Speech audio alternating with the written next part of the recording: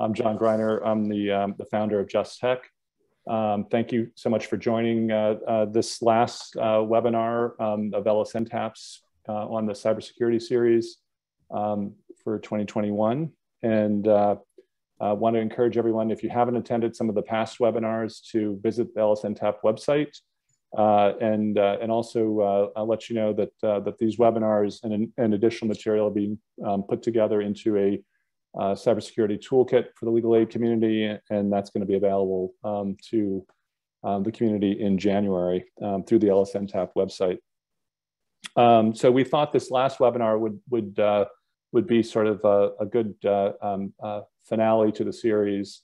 Um, we've talked a lot about some of the different elements for managing cybersecurity uh, approaches for advocates to uh, navigate um, uh, their work in a more secure fashion, talked about some of the, um, the more technical um, pieces um, uh, and, and, uh, and, opportunities for programs to improve their security. But um, you know, as with uh, um, a lot of different disaster preparation or fire preparation, it's good to sort of explore uh, uh, the, I guess, the anatomy of a cyber incident um, to understand it and to prepare for it and, and hopefully be um, better able to, uh, uh, to respond, but also maybe look for opportunities to uh, reduce the risk um, of an incident um, within your organization and, and maybe the extent of the damage and the time that it might take to recover. So, um, so we're going to spend um, uh, some time today with, uh, with some wonderful uh, panelists who are going to bring the legal aid specific perspective um, uh, engineering perspective on some of the um, some of the, the, the technical details, um, as well as sort of the the legal operational perspective um, on cyber incidents. Um, with us um, uh, specifically are uh, uh, Jada Breegle, who's the uh, the Chief Information Officer for Legal Services Corporation. Uh, Dina Brownstein, who's the IT Director for Greater Boston Legal Services. Joseph Mello, the Director of Engineering for Just Tech, um, and then on the, the legal team, um, we're very um, fortunate um, to have uh, Kaylee Schuler, uh, who's an associate at uh, Polsinelli, um, Daniel Pepper, who's a, a partner, uh, and Elise Alam, who is an associate both at uh, Baker Hostetler. Um, uh, and I, I, think what we, we want to do is, is sort of go through some questions, sort of laying out sort of the typical progress of a cyber incident, but um, but we also want your questions and comments. Um, so if you would please make sure you use the chat um, to share um, uh, your experience, your your your uh, your knowledge, uh, your questions. Um, we're going to be uh, uh, you know keeping tabs on that chat. We're going to either integrate your questions into the um, the dialogue, or depending on the nature of the question, we, we, will try to answer them at the end of the session. so uh, with that, I, I think I'd like to um, uh, kick it off with uh, um, a question um, to Jada um, to begin with, and, and that's uh, why, um, uh, why the legal aid community should really care and care about and prepare for cyber incidents. And I have a couple slides that I'm going to share to answer that question.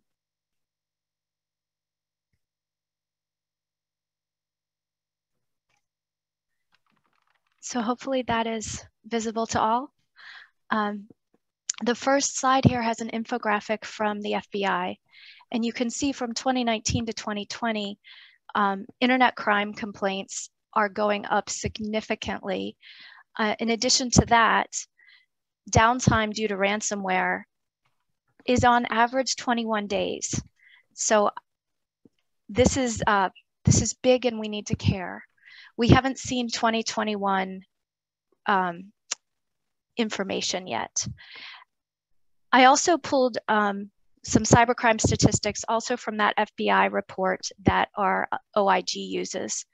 And um, I think what's important here is business email compromise, which is something we see a lot of, continued to be very costly, uh, $1.8 billion, phishing over 54 million, um, and a lot of ransomware incidents. The other thing that I found that I thought was interesting is there's a ransomware um, attack on a business. It's estimated every 20 or 11, uh, 21 seconds. 11 seconds. I'm sorry, I can't even re read my own slides. And it's expected that that's going to go to every two seconds. So I think we need to realize that cybercrime is really big business. And even though we're nonprofits for the most part, we're running businesses and we are a target. And then I just wanted to show some stats that we keep track of at LSC. Our Office of Inspector General logs cybersecurity events um, for us at LSC and our grantees. And since 2018, they've logged 27. I'm not sure that they've actually seen all of them. Um, a lot of these are phishing incidents. And what I see happening more and more as that is that someone's email gets hacked and everyone in their address book starts getting uh, fishy emails. And I think it's important to remember that we're all connected. We're a supply chain of sorts. Uh, so if you have a cyber event in our community, you can impact the rest of us. Thank you, Jada. And I, I got to say, uh, we we were sort of privileged to work with both LSC and non-LSC funded um, uh, uh, legal aid providers, and we certainly see um, quite a few cyber incidents. So I, I, know that outside of the LSC world, you're not immune to cyber incidents. Um, uh, and in some ways, I think, again, we, um, I think that one of the wonderful things about LSNTAP is that we're really trying to help bring up the whole community's understanding and knowledge and, and improve the practices of the broader community. And I think to Jada's point that we're interconnected. And so, um, you know, our, our security is really dependent um, on the on the broader network, our you know, our joint security. Um, so wanted, um, I guess, you know, to the, the extent that, uh, um, again, we have um, a range of, uh, of folks from across the, the country and the community, if you wouldn't mind sort of sharing a little bit of your, uh, your perspective and, and just in the chat, what you're, you know, sort of most concerned about, why you care about cyber incidents and cybersecurity um, I think that would be sort of helpful as we sort of proceed. And and uh, and again, any questions that you have that you want to make sure we try to answer. Um, so I, as I mentioned, we've got um, uh, um, some uh, great practitioners who are doing cybersecurity um, incident work and, and preparation work, you know, sort of the preventative work as well and the management work as well with us um, uh, this afternoon. and having sort of their experience I think I, am just really delighted by because we, you know, we see a number of incidents every year. They see many, many more. And so I, I think we're, we're looking forward to um, sort of hearing sort of more, um, uh, getting more of, a, of the, sort of the big picture about how cyber incidents unfold. And I, my question uh, first to, to Kaylee, Dan, and Elise is, um, uh, if you know, maybe if you could share how um, how firms typically identify, um, uh, you know, that, that there's been some compromise, um, and maybe the, the sorts of incidents that you're seeing that that you're getting involved in, um, and uh, and I guess to the extent that uh, um, you know that there's some question about whether you know um, uh, some activity on the network or with the system is a cyber is related to some sort of malicious cyber activity, or if it's um, just uh, poor configuration or, or poor poor management of the technology. You know, like how does that sort of play into the whole um, process of, of getting to the point where you're um, uh, responding to something that you think um, uh, needs all hands on deck? Yeah, John, I'm happy to um, kind of kick off the discussion there. It, it's a really good question. Um, and I think the answer can really vary in terms of how how and, and when a, an entity starts to understand that it's dealing with a breach or a possible breach.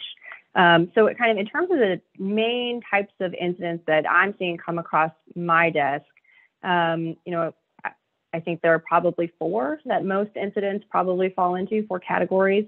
Um, so first, you know, with some regularity, we'll see a pretty straightforward case of something like an inadvertent disclosure, right? So this is where, um, you know, somebody accidentally mails the wrong document or attaches the wrong document to an email and then sends that out to uh, an unintended recipient.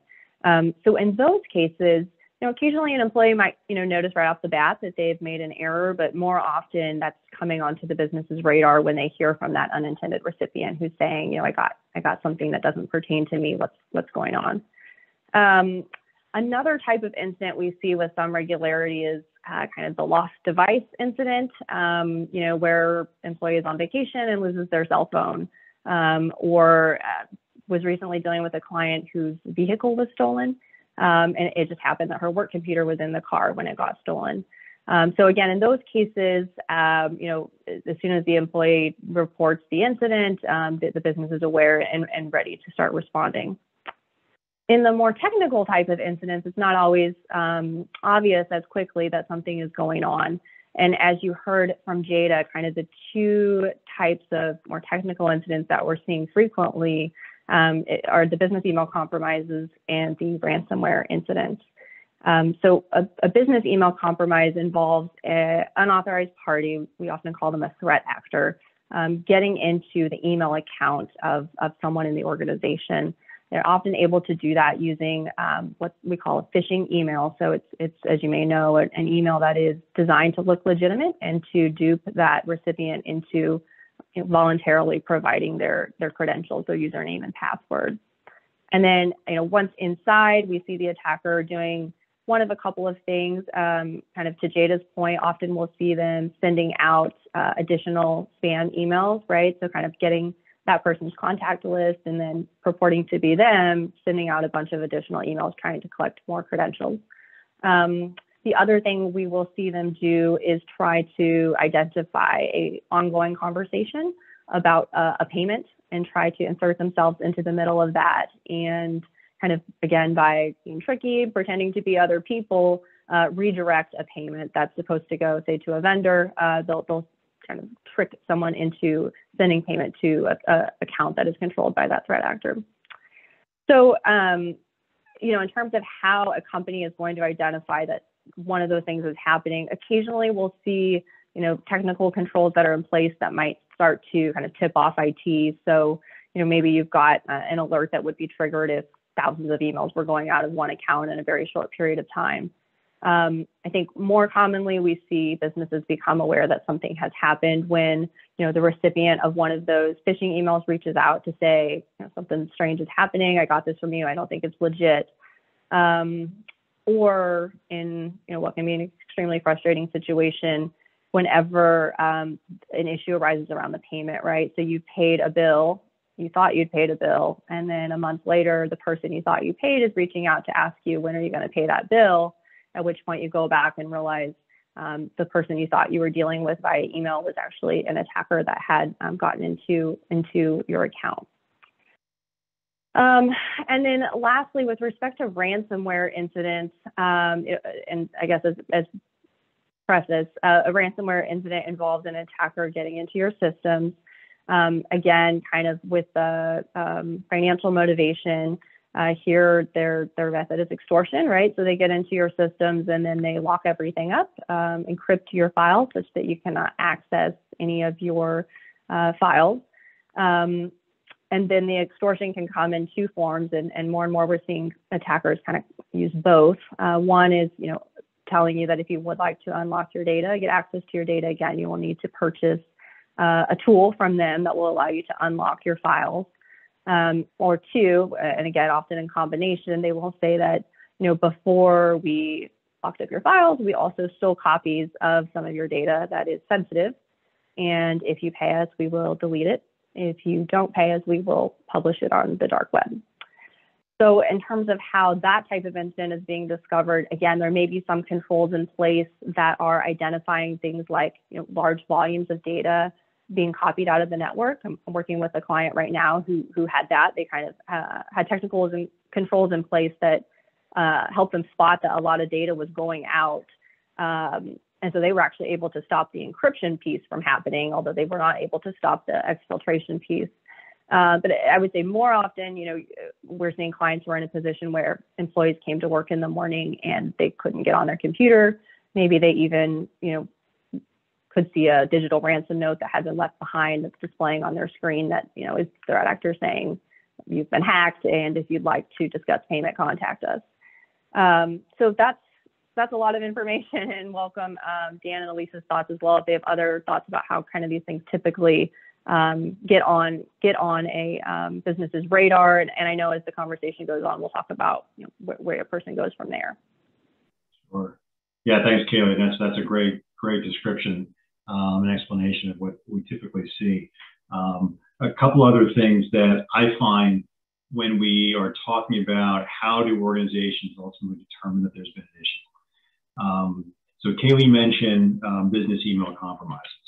Um, and in those situations, the threat actor typically does not want to make itself known um, because they want to continue the damage as long as they can. They want to continue to be able to redirect emails or get inserted into the payment um, um, process between, let's say, an organization and their vendor. And as long as they can continue to, stay in the environment, not get caught, so much the better for them. Um, on the other hand, ransomware, the threat actor wants to be known. The ransomware actor will leave a ransom note in most cases saying, this is what we've done and, and we've locked your files up. And if you want um, to recover your data, um, including data that we may have stolen and, and potentially will publish on the internet, here's how to contact us. And once you've done that, they'll demand a payment. Uh, so they're very upfront about it. Um, so it really depends on the motivation of the threat actor. In some cases, we'll also see different types of intrusions where um, organizations very frequently now will use different types of cloud service providers uh, or cloud services to either store data, run certain operations or systems, um, and they're dependent upon third parties uh, to ensure that their data is being protected correctly. Um, in those situations, third parties can be subject, or those vendors can be subject to different types of security incidents that impact their customers. Um, and so in those situations, oftentimes once that vendor discovers that there's been some sort of an intrusion or other incident, they'll notify um, the organization that's been affected by it. Um, so it really will depend ultimately on the nature of the intrusion. And one thing I'll, I'll just mention, um, this is a common question that, that we get pretty frequently. Um, whether or not certain types of organizations are targets more than others. Um, there oftentimes is an assumption that you know the bigger organizations with the deep pockets, the ability to pay more, are, are more um, frequent or, or attractive targets. And we find that unless we, in certain circumstances and exceptions where you may have, let's say, a nation state actor which is intentionally targeting a particular type of industry or company. Most threat actors are opportunistic. Um, they will get in whenever they can. If there's a phishing email uh, or a campaign that a threat actor is instituting, um, whoever takes the bait, that's where they'll go. Um, it can be a multinational conglomerate. It can be a two-person CPA firm. It can be a small nonprofit organization. It really doesn't matter. So Elise may have some other thoughts on that too.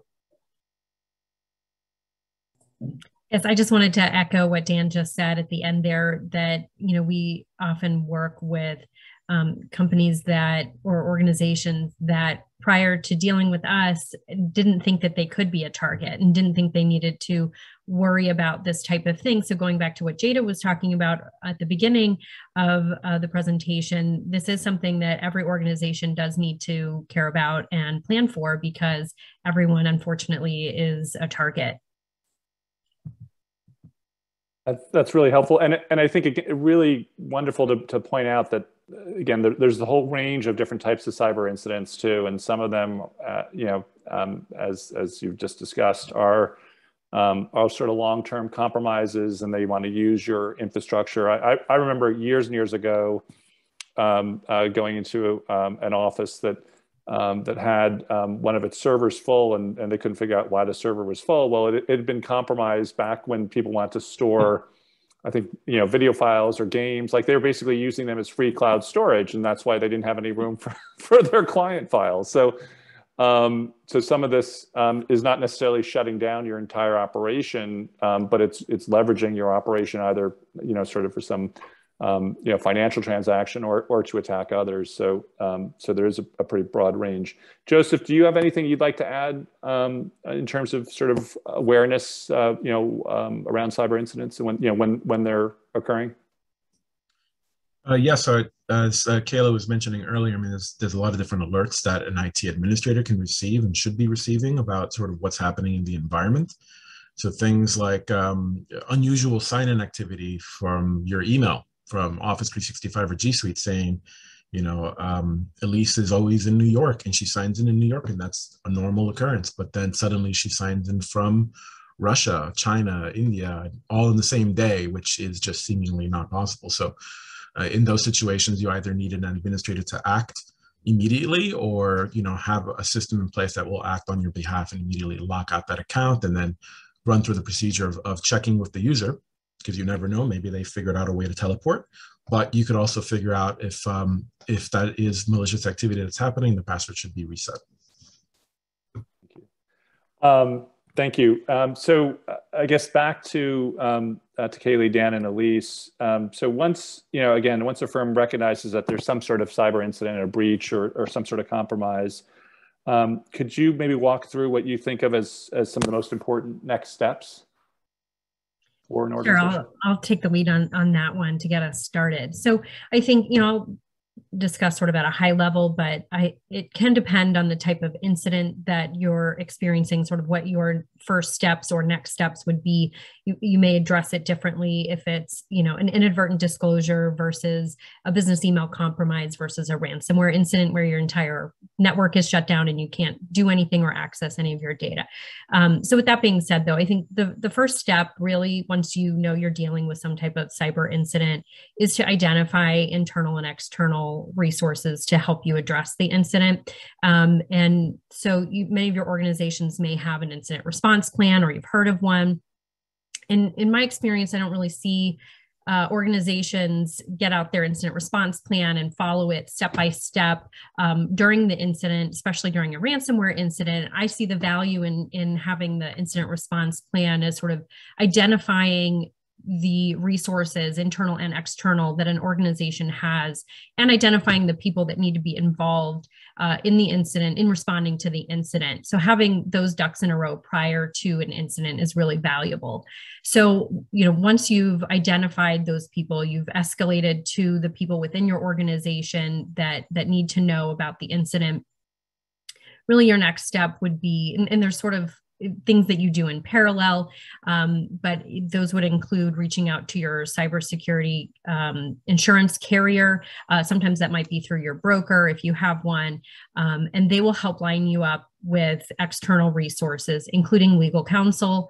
Uh, and then typically, if legal counsel gets involved, we would then help you um, ad- identify and engage additional external resources, including forensic um, firms that would help perform an investigation as well as to make sure that the incident is contained uh, and so it's not spreading or or there's um, we want to make sure that if the um, threat actor is in your your email accounts or uh, in your system somewhere that we kick them out and keep them out. Um, and so th things like that. Um, if we're dealing with a ransomware incident we may also want to engage a third party negotiation firm that focuses on um, communicating with uh, threat actors uh, in ransomware incidents to, you know, and there can be a lot of reasons why you might want to do that, even if you don't actually need a decryption tool because you have viable backups. You still may want to uh, communicate with the threat actor to figure out how they got in, if they'll tell you um, it, what they what data they took, things like that. Um, and these firms um, specialize in in that type of communication.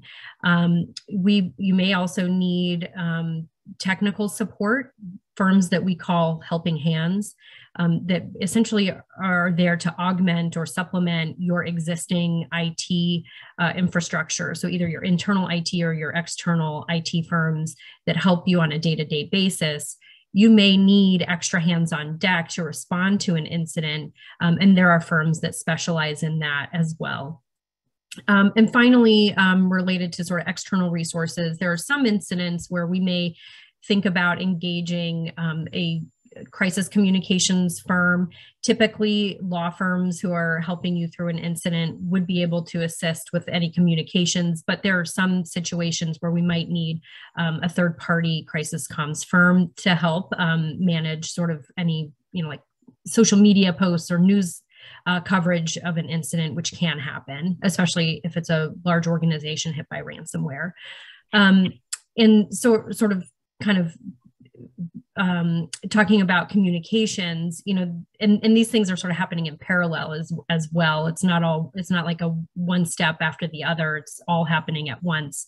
Um, and you know, you need to think about who are you communicating with and what you're communicating to those people. So you have internal stakeholders. Um, some of they might have to communicate to a board, for example. So you know, trying to figure out um, and make a plan for communicating with those stakeholders as well as external stakeholders. Um, you may have contractual obligations to, to you know, notify um, partners that you have. Um, but you also need to think about what you need to communicate with staff. Um, in a business email compromise, you may not need to notify or discuss with anyone other than the party whose email is involved, um, but you may need to notify you know somebody that received a phishing email somebody outside of your organization. In the event of a ransomware incident you may need to tell employees um, give them instructions on what they need to do. Um, if everything is shut down do you tell them to go home? Um, you know what do you tell them? So you know sort of have having um, that in, in mind those communication plans and legal counsel is there to help you through through all of that too which is why it's important to to get us involved. Um, but but those are all really important um, things sort of early on in managing an incident and responding to an incident. And in the case of a ransomware incident um, it's really um, critical to have a way to communicate internally as well as with your third party um, vendors that are helping you respond to the incident uh, sort of out of band is what we call it. So basically not in your own system. So normally you'd be emailing each other or using teams or skype or something like that to communicate with each other in order to respond to the incident. And, and when we identify an incident we don't know right away what the threat actor has access to, what they can see, and oftentimes they have visibility into um, Teams or email, things like that. And we obviously don't want the threat actor privy to our discussions on responding to an incident. So our recommendation typically is to create brand new like Gmail or other free email accounts specifically just for this incident with MFA, make sure you have multi-factor authentication on, on those, um, so that you can communicate securely um, and confidentially in, in responding to um, the incident. Because we have uh, heard of incidents where the threat actor actually was, you know, viewing all of the email communications um, or you know the in the team's responses or even um, you know joining calls. Um, and so we don't want that to happen to to anybody. Um, and and some other things regarding communications um, we often notify law enforcement early on. In the case of a business email compromise we often will notify the secret service. Uh, they have a task force um, that is geared directly toward addressing uh, business email compromises and can sometimes help get funds back that have been paid to a threat actor. Um, and uh, in the case of a ransomware incident, we would notify the FBI uh, field office that is responsible for handling and investigating the particular variant involved. Um, they don't um, come in, I see in TV and movies, you know, the FBI will come storming in with their laptops and, you know, they're all hands on deck um, helping you through an incident. They don't do that in real life. Um, they do help give us some information about a threat actor give us some um, data points that may help us in our response efforts. Um, but really, it, it's great to have them as a partner, but it's really just a notification that we, we just let them know that that's going on.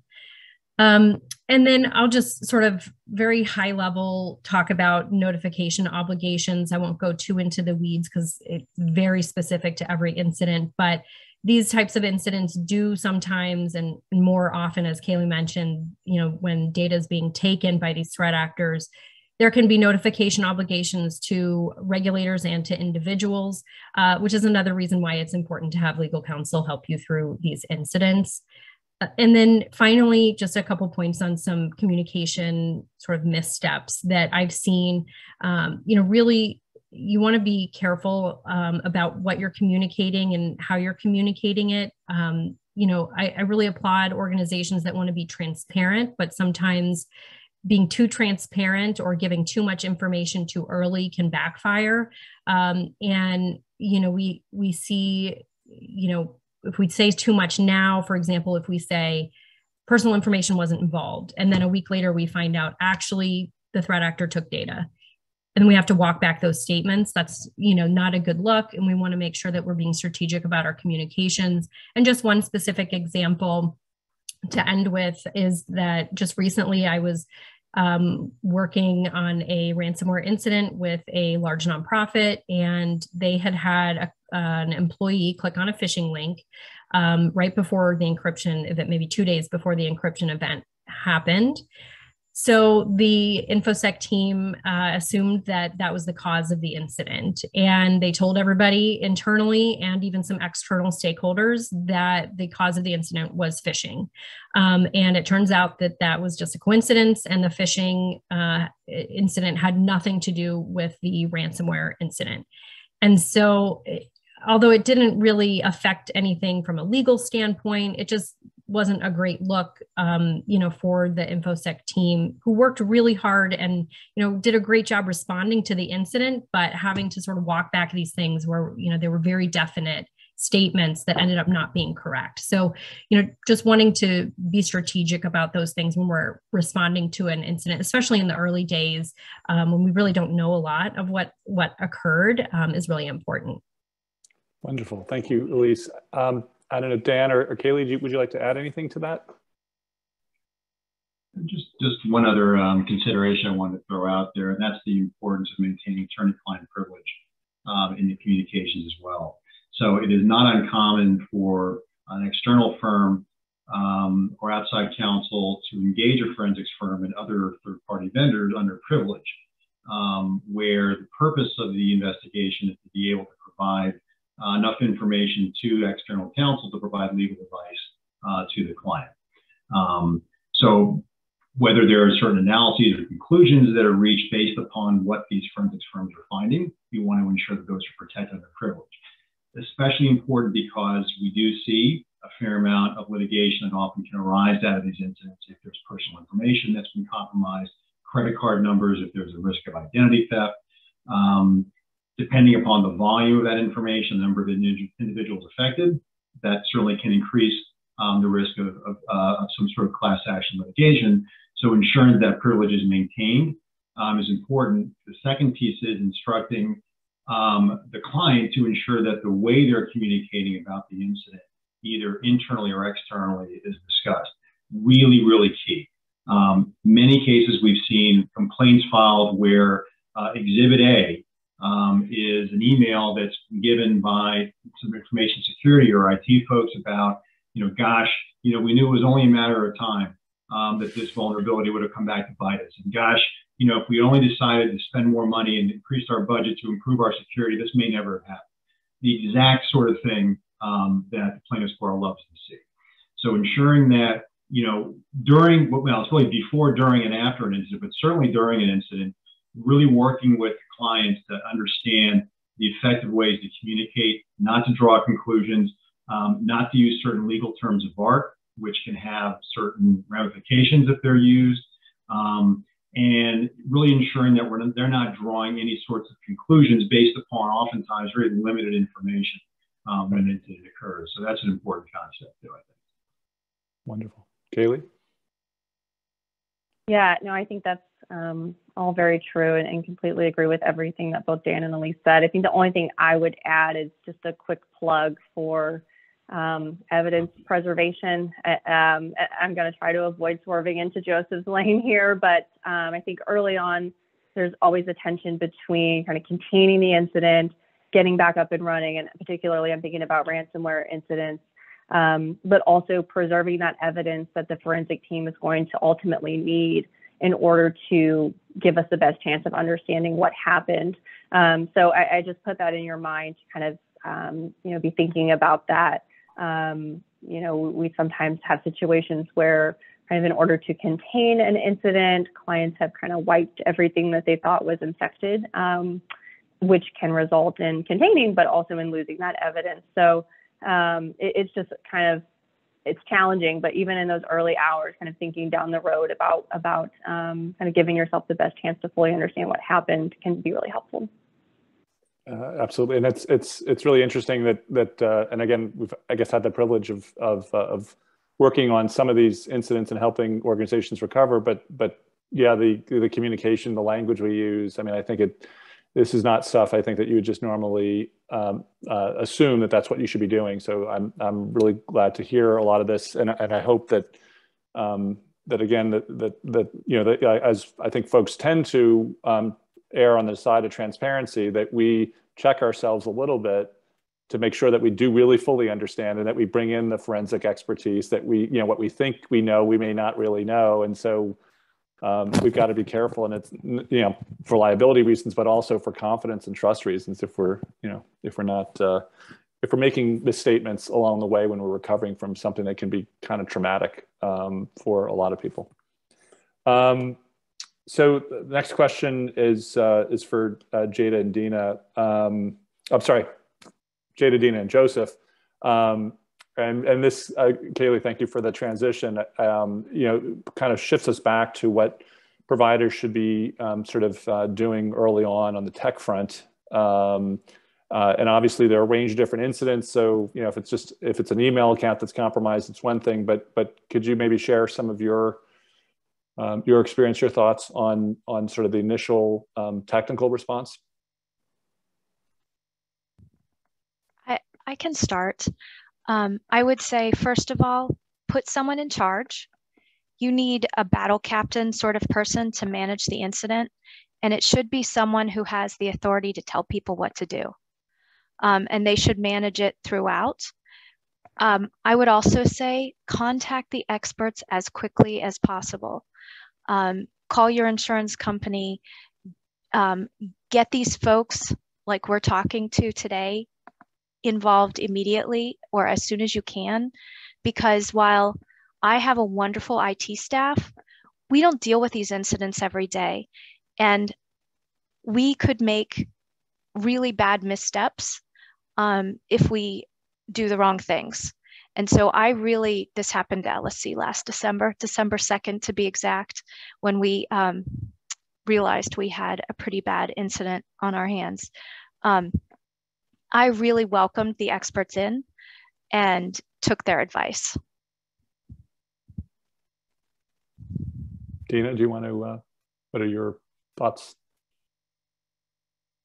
And you're muted, sorry. Uh, um, okay, blah, blah, blah. there we go. Boy, I'm really, I'm really batting a thousand today, aren't I, folks? Sorry about that.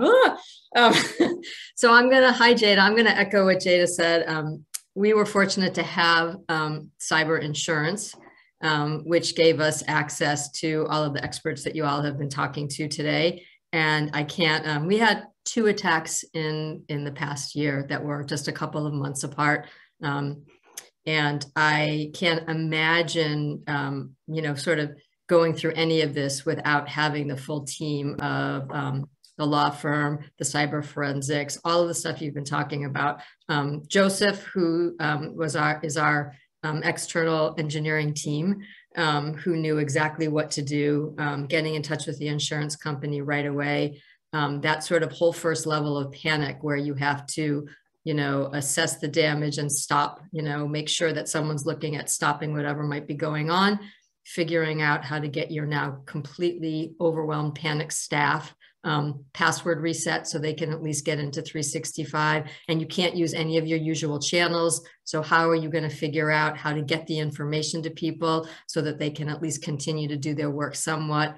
And then third how are you going to communicate with them going on? All your systems are compromised you know what are you going to do and how are you going to do that um, and you know that was the, that was our sort of in the in the days and hours that followed um, both of our attacks that those were our sort of three um, primary focuses security, access, and communication. And I'll let Joseph say how all that happened since he's the one that did it. Um, so yeah, so uh, as Dina and I think um, others have mentioned before, there's the importance of a the cybersecurity, uh, cyber um, incident response plan is having that plan in place so that you don't have to do any thinking in these situations because it is a bit of a panic moment.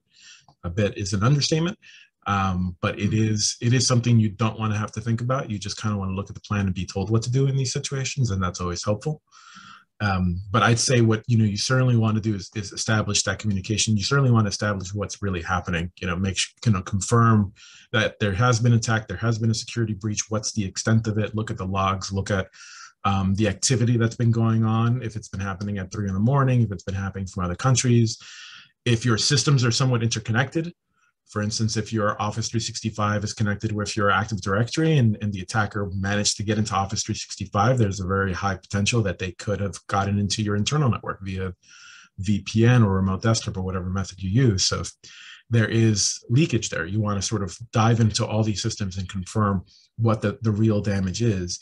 And you do want to avoid um, uh, you know certain steps like for instance you don't want to go in there as an IT administrator start wiping everything because that's that's uh, a very big mistake in terms of forensics. I mean, you want to know what's going on. You want to know what's there. I mean, if the if it was a ransomware attack and they left the ransomware note and you're blowing it away, then there's really no way to sort of get a an encryption key if that's something that you need in your in your situation or to to be able to talk and negotiate with the attackers about whatever they've may have exfiltrated from the environment um, so yes certainly there's things there with with wiping things there's also the consideration of how do you deal with the systems that you know are infected?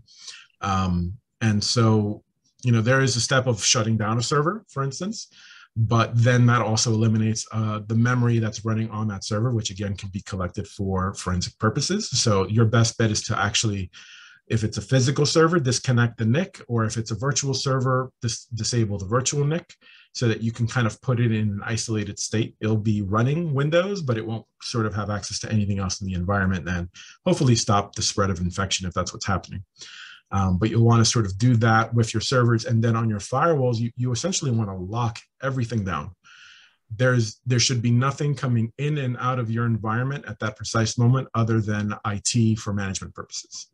So all outbound internet traffic, all internal access to your network, everything has to stop which is what can be the most devastating part because this is why it takes on an average 21 days to sort of come back to a full stage of recovery even if if that's accurate. I think that could even be longer depending on what the damage is.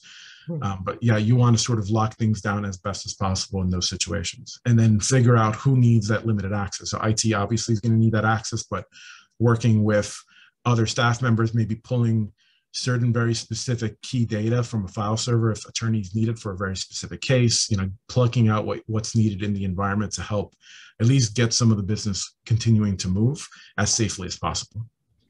And, Joseph, I'll just I just want to add something. When when we talked offline, that, that you mentioned that I think uh, is is worth uh, just again throwing out there that the value of documentation can't be overstated. That um, the better your documentation is on your whole environment, you know, in-house and in the cloud, um, the easier it will be for you and others to help assess, you know, how do we get, get, at least get control of it and and not necessarily destroy evidence, but but but mitigate the ongoing harm um, or the data exfiltration. So, um, so next um, uh, question um, again back to our legal gurus.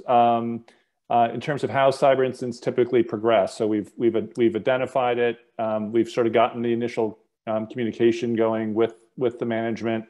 Um, uh, what's what's the I guess the anatomy of not the murder but the incident that uh, um, that folks should uh, um, uh, should understand sort of the, the typical progression um, from first from denial through to acceptance or whatever the yeah I can start with that. And by the way, the mur- murder is not a bad analogy because I'll tell you, um, for most organizations, it's the worst day in their professional life having to go through this. So it feels like your business has, has been killed in many ways. Uh, and I just wanted to follow up on the point that you made, John, and, um, and Joseph as well about the incident response plan. And this kind of ties into this point as well about what you can expect and what the timing look like and what does this look like when it progresses. Um, not only is it important to have very well written incident response plan that's been tested to, that the organization has gone through, they know it, they know how to, um, to proceed with it, um, but to actually have it printed out in hard copies. I worked with an organization not long ago that was hit with a ransomware, and their beautifully written incident response plan was encrypted and no one could get to it. Oh. So no one had the opportunity to actually see it and follow it. Um, so have it printed, have it uh, sitting on everyone's desk uh, or in their office so they can grab a, a hard copy of it, along with phone numbers and email addresses because those also can be encrypted, so you don't know how to contact anybody. Um, so just a little uh, little aside there. Um, but as far as the timeline goes, so um, you know, in some situations, and I think um, a number of the folks, including Jada, um, mentioned the importance of moving quickly and bringing in those experts quickly once you've discovered the incident. Um, we find in some situations that organizations, especially those that you know need to get back up and running very quickly, they may be losing money on the on the hour every you know hour they're down. So their first instinct is let's get everything restored Let's get everything back up and running, and then we'll start to figure out what happened because we've got to get the business up and running. Perfectly understandable. Um, you know, we it's it, I use the you know the, the analogy where you have this great forensics process um, where you know um, we stopped everything, we got all the forensic information, and all the evidence over to the firm for them to investigate it, um, but the business ultimately couldn't survive. So you know the, the operation was a success, but the patient died, right? not so much a good example of, a, of, of, a, of result that you want. So um, sometimes in those situations, a forensics firm may come in a couple of days later after the restoration has already occurred. There's no evidence left. It's all been wiped. There's nothing to do. Um, and so there's a very good chance, and we see this a lot, that you haven't actually ejected the bad guy from the systems, um, and you're just going to be waiting for another attack because you know they're just lying in wait. Um, but in general, the forensics firm is there to do the what, where, when, when who, and why. Um, how do we? How did this happen? Um, and how do we prevent this from happening again? Um, the process, uh, and just to kind of give you some numbers here of what you can expect, this is based upon what we've tracked uh, as part of our team um, each year. So in, in 2020, uh, our team worked a little over 1,250 security incidents uh, on behalf uh, of our clients. And on average, the, the point in which the initial occurrence of the incident um, begins to the point of discovery is on average about 12 days, um, which generally means that you've got the threat actor that's in the environment undetected uh, until they make themselves known or you have an IT administrator or somebody else discover uh, the threat actor is there. Once the forensics firm ultimately is engaged, on average, it takes about 36 days. Um, based on our experience for the forensic investigation to complete. Why does it take so long? Why does it take 36 days on average um, to complete that? So there's a few different moving parts here. Um, there is oftentimes a lot of evidence that the forensic firm is looking to collect. There could be lots of systems, lots of different locations that the organization has, um, all with different types of logs, images of systems um, that need to be collected while everyone is scrambling just to keep the business running. That can take some time. Finding ways in which to collect that and actually transmit that to the forensics firm so they can start investigating that. Um, once that's all collected, depending upon the volume of that information, it's going to take some time to parse through that. Um, and so that's kind of builds into that, that 36 day uh, average time frame. Um, so what are they looking for? What does this process typically look like? Well, obviously on day one, I think as a number of folks have mentioned, we want to get the bad guy out. We want to get containment so that the infection isn't ongoing. We also want to identify what type of information they've been impacted. Um, has there been, apart from just maybe encryption in the event of a ransomware incident, um, I think as Kaylee mentioned early on, it's very common now for these ransomware actors to steal data as a second extortion method. So if you've got good backups of your data and you don't need to actually purchase a decryption key from the threat actor to decrypt your data, well, the threat actors say, look, you know what? We'll also steal your data and threaten to publish it um, as another way to extort you uh, to actually pay the ransom. Um, so how do we know whether or not this is something that we care about? part of the forensic investigation is going to identify to what extent, if possible, any data was actually taken. How much, what type, when was it taken, et cetera, so we can make a determination of, you know, do we need, even need to get into uh, discussions with a threat actor uh, to prevent that data from being published. Um, it's a particular risk because threat actors, um, especially some of the more sophisticated ones, um, are better at identifying what sensitive information an organization has. Um, they know, and these are not business uh, majors by any stretch, or, or you know financial or accounting experts, but they know enough that social security numbers are important. They know enough that financial account numbers are important. That's going to get an organization's attention. They're going to know that if employee social security numbers are threatened to be released or credit card numbers, that's going to get the attention of the victim organization and generally going to get you to start communicating with a threat actor to potentially negotiate with them. So we want to be able to determine as best we can as part of the forensic process what information may have been compromised. Sometimes a threat actor will give you examples of what they've taken. Sometimes in the ransom note, they'll say, we've stolen data from you. And once you've initiated those communications, sometimes they'll give you some examples of what it been take. Um, once you've seen those, generally you can say, well, I know where that type of information is stored in my system, so I can look to see what else might have been in that same file folder, in that same server. Um, and I can then start to extrapolate, well, there's a good chance they may have taken more of that same type of information. Um, so when does it make sense to negotiate? Uh, very common question we get from most of our clients, especially in ransomware matters, you know, should I pay the ransom? Um, and the truth is there's no really right or wrong answer here. Some organizations will have philosophical positions that we just are not going to negotiate terrorists or extortionists. We're not going to criminals. We're just not doing. Sometimes they'll build that into their own policies. Um, it's just, you know, thou shalt not pay um, criminals. We're not going to pay ransom. Um, well, that might be fine um, until you find yourself in a situation where you don't have any other option. Um, the business literally is going to shut down because you have everything locked up. You can't get access to your data. You can't run your operations, your applications. You can't service your customers unless you're actually paying for decryption. Um, tough spot to be in. That oftentimes can be an easy decision point because we don't have any other options. But oftentimes you find yourself or the client finds itself somewhere in the middle where maybe you've got some backups, maybe you don't. We're not quite sure because no one's checked for a while. Um, or we've got some backups that are maybe 30 days old, 60 days old, maybe older. Can we work with those? Maybe, maybe we can't. Um, so now we have to start going through this process of determining, you know, what is the value of trying to restore data or rebuild or recreate data versus taking data that might be old. You know, can we still work from there? Um, and of course, you know, what is the threat actor demanding?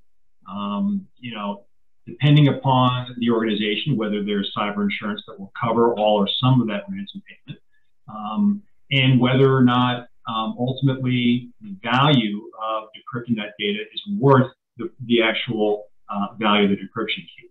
Um, so those are all determinations as well. Once data has been compromised, especially personal information, um, so once it's been encrypted, once there's some evidence from the forensics firm that that sensitive or personal information has been accessed, generally at that point, most state breach notification laws are going to require individuals to be notified if their sensitive personal information has been compromised or accessed. Many times, state regulators have to be contacted as well. So, whether or not that data ultimately is released by the threat actor because they stole it won't change the obligation to notify those individuals. So, if you have to notify those individuals anyway, does it really make sense to pay the threat actor to suppress the publication of that data if we have to notify affected individuals anyway. So many organizations will take the position it really doesn't really help us that much, and it's really not worth um, potentially hundreds of thousands of dollars more to pay a ransom to prevent data um, that ultimately is subject to notification obligations. Um, another question that comes up, well, if that data is ultimately released, do I need to worry about potential liability uh, as my as an organization? Uh, what does this mean for my employees, my customers, other third parties whose information has been impacted? Um, what do I need to concern myself with? Um, the first thing I generally tell folks is most threat actors, they will have what they call their leak sites. These are the sites where they will publish the data that they've stolen if a ransom payment isn't made. Generally, this is not the type of site that you're just going to Google and find. So if you're typing in, you know, my, if my data was compromised or stolen as a result of one of these incidents, and you type in, you know, Dan Pepper social security number, chances are it's not going to come up. um, in the search result. There's a little bit of effort required in order to get to that information. Um, so it's not readily available. But many of these threat actors, what they will do is there's a secondary market on the dark web where they'll look to monetize that data if they're going to publish it. So they'll look to potentially share that or sell that with other threat actors um, in a downstream effect to try to monetize or make some money off of that data, or potentially use that for some sort of identity theft purposes. Um, so those are all things to consider, and those all potentially raise liability risks if you're considering whether or not to pay the ransom. Um, and depending upon the volume of the information, the sensitivity of that information, as I mentioned earlier, that might increase litigation risk. So that's part of the consideration too.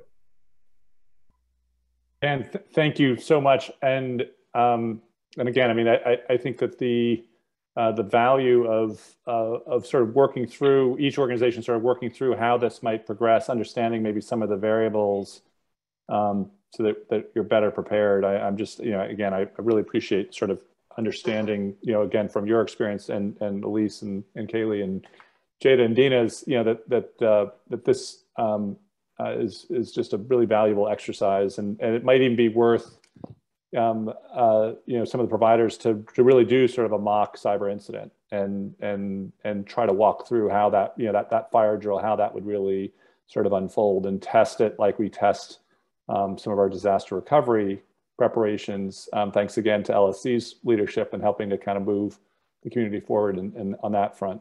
Um, I want to, um, uh, because of the where we're at on time, um, I want to actually sort of move forward um, a little bit in terms of again the re recovery, um, uh, uh, you know, any kind of additional sort of recovery um, pieces that that uh, Jada, you or, or Dina or Joseph want to add, and if you could each maybe take about a minute on that because I want to make sure.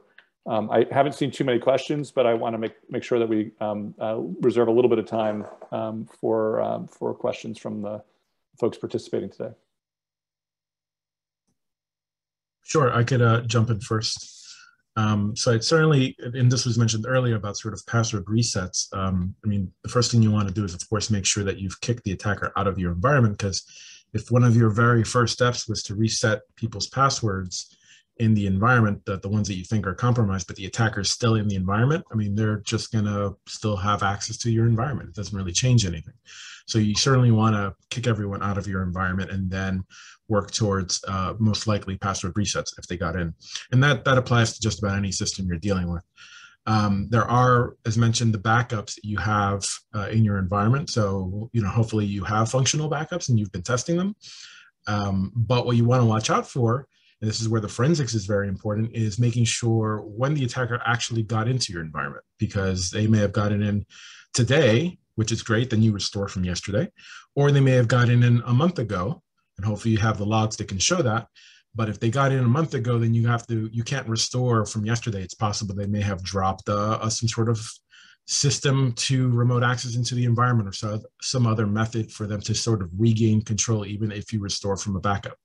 Uh, so there may be situations, and, and this will be uh, likely you know work through the attorneys and the security company you work with or the forensic company you work with. They may provide you the the recommendation on sort of what to do in terms of how to restore from your environment whether that means restore from go ahead the entire image uh, which is great because then that saves you time or they tell you only restore the files which means you're going to have to rebuild a windows server from scratch and just restore your data because they just simply don't trust what's on those backups um, and then I'd say for security improvements, I would I would also include, you know, if you got phished because you know somebody got duped by an email, but you don't have MFA, like that's a problem. That's a security feature you should turn on.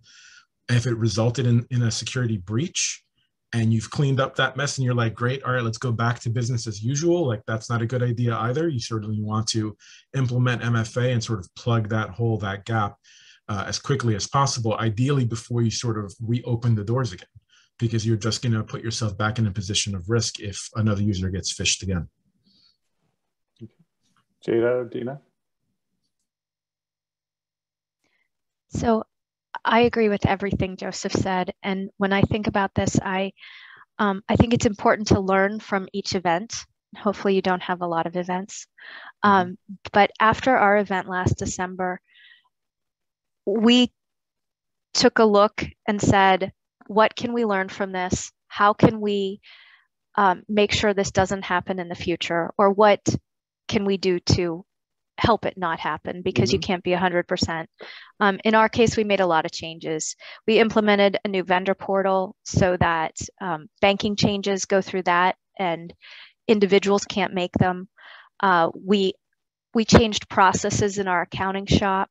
We implemented multi-factor authentication um, for even our grants management system, which drives people crazy to no end, but it's really necessary. Um, we implemented so many technical recommendations from the company that our cyber insurance brought in to review our network and systems. And so I think it's important every time this happens to make changes. Thank you. Dina? I'm unmuted now.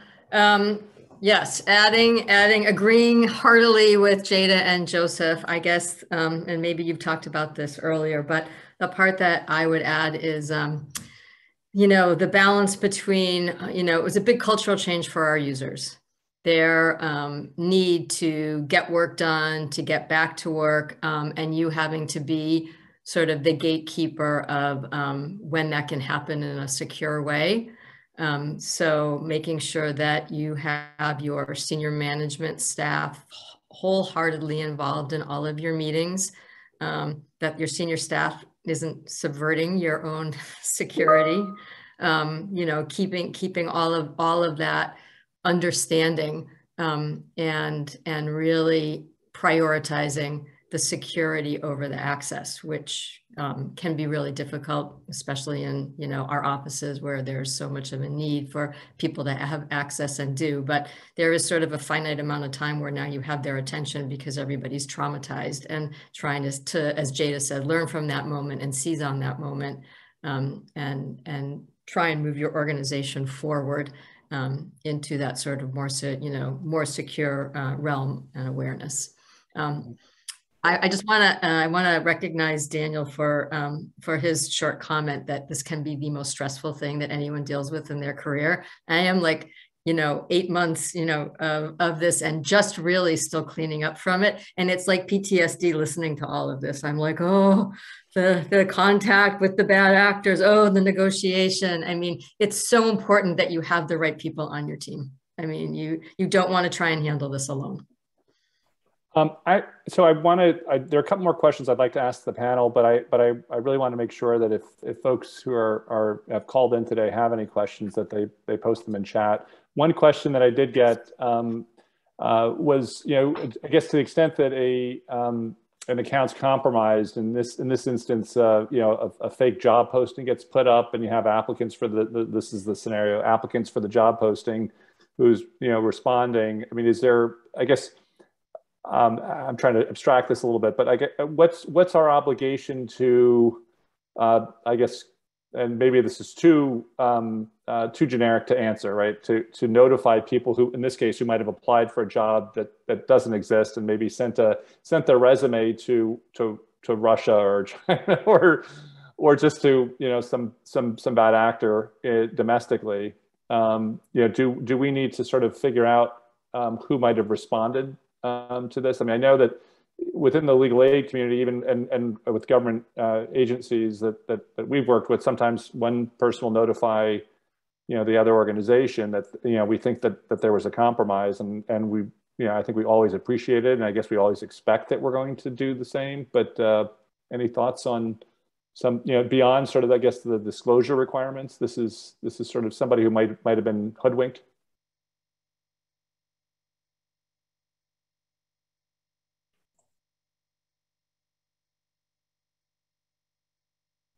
So I think I'll jump in. Um, I, I, think, you know, as far as um, disclosure requirements go, um, typically the way the data breach notification laws are worded, the data owner has the obligation to provide notice to individuals whose personal information was involved in an incident. So one sort of tricky thing with the scenario you described is determining who's the data owner.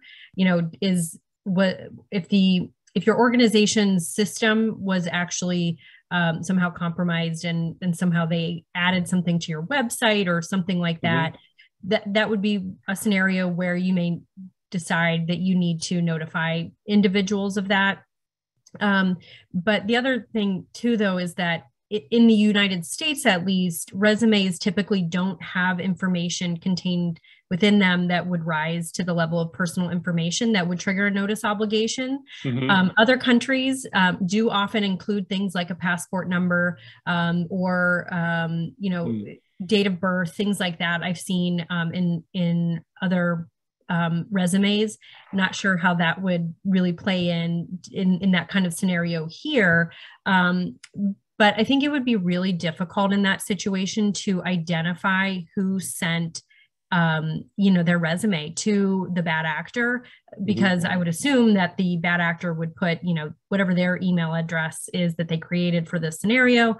Um, so I think it would be really difficult to determine who you needed to notify. Um, but again, if it's somebody from the US sending their resume, um, I think typically that wouldn't trigger notice. Um, but it would be mm-hmm. unfortunate. We've seen some scenarios that I wouldn't really call them a cybersecurity incident or a breach, um, but something like where somebody's website is being spoofed or mm-hmm. or something like that, which is not really a cybersecurity incident in in a strict sense, um, but is something certainly that organizations do have to um, sometimes deal with, unfortunately and I guess again, it's sort of like the value of talking with with counsel or, or sort of analyzing each situation on its its fact pattern and, and making a judgment call because it may also be your brand, it may be your trust in the community, it may not be an obligation, you know, that the, the state statute sort of prescribes. Um, uh, so I don't see other questions. Hopefully, we haven't we haven't.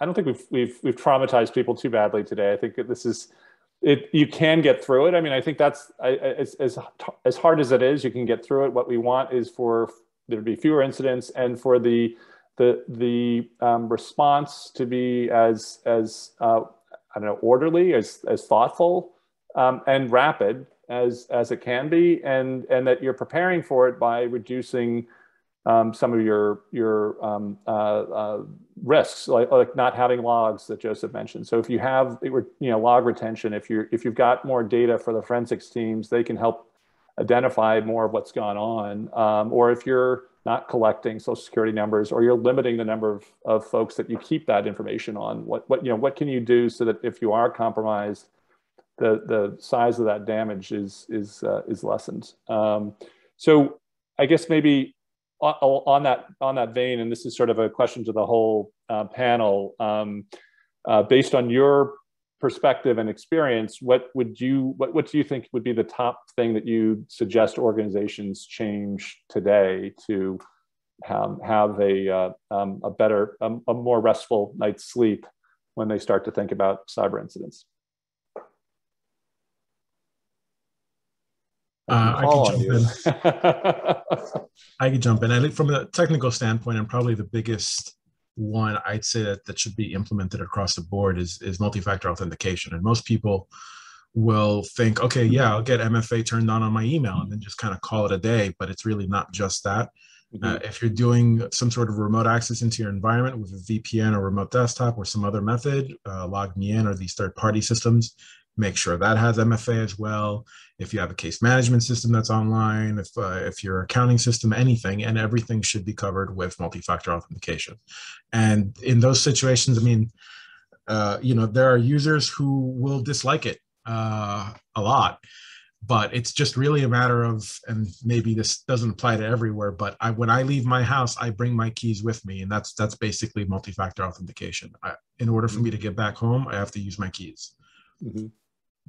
Thank you, Joseph. Um, Jada? Can I add on to that, to what Joseph said? When you're buying new services, don't buy them if they don't have, if they don't support MFA. I can't, I'm having this, this struggle right now, and boy, does it drive me crazy. Um, but that's what I would say. Don't even consider them and tell the vendor why you're not buying them. Right. And then the policy thing that I would say is think about how you're going to handle this sort of thing ahead of time. Put a policy in place. I think Elise said early, she finds that most of her clients don't follow that policy step by step. we didn't follow our policy step by step either, but at least we had something written down that guided us. Mm-hmm. And it was a it was sort of a backbone for how we handled things. And I would suggest to everybody to write down your incident management process. Wonderful. And, and sort of a preview of, uh, of the ITC conference uh, session we're going to do. We're going to try to do a little workshop on incident uh, response policies. Um, I'll, I'll, throw my, uh, my two cents here. Um, I'd say this is true for almost any organization. Get rid of data you no longer need storage is cheap. Two, two thumbs so up. It used to be, and I think uh, John, you mentioned earlier, right? You see these hacks come in. People would try to uh, like use uh, uh server or file uh, space to save data because it was expensive to do it yourself. Now no one cares, right? It's cheap. You can just keep buying more. Who cares? And so organizations will just say, well, look, it's not costing me anything to keep data going back 10, 15, 20 years. I got customer data, I got employee data going back. I'm keeping it you know, sensitive information in my email account because who cares? I can do it and it's not costing me anymore.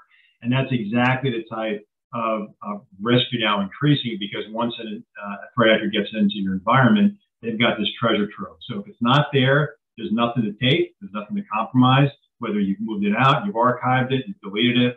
Probably one of the biggest things right there, I think, from a data governance perspective, organizations can do to limit their risk. Great, great. Kaylee, Elise, Dina?